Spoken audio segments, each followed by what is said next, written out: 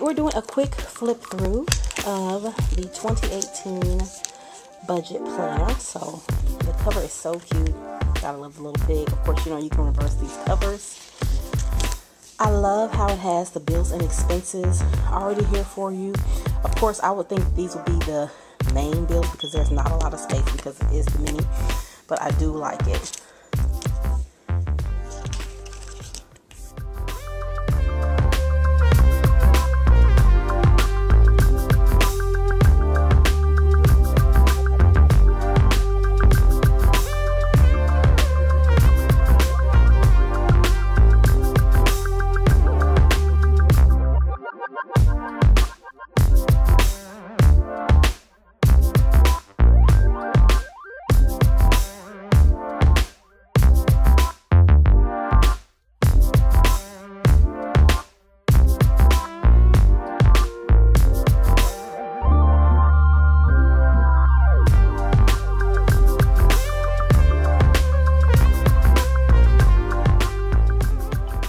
So they do have many, um, the expense tracker and the bill pay checklist in the back of each month.